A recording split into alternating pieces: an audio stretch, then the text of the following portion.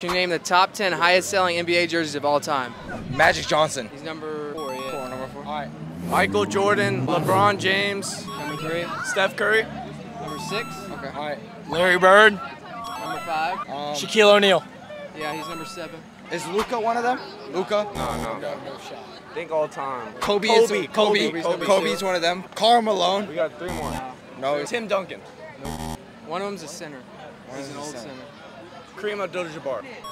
Ray Allen. Hey, Ray, Ray Allen. Ray Allen Iverson. Yeah, he's number nine. Okay, okay, okay, okay, okay, okay, okay. We just missed Last one. Yeah. Position. What, what, position? is he? Small forward. Small forward. Okay. Era. Era. What era?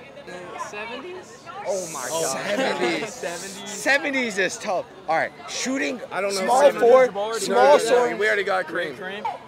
Julius Erving. Final answer. Julius Erving. Yeah, that's right. Oh!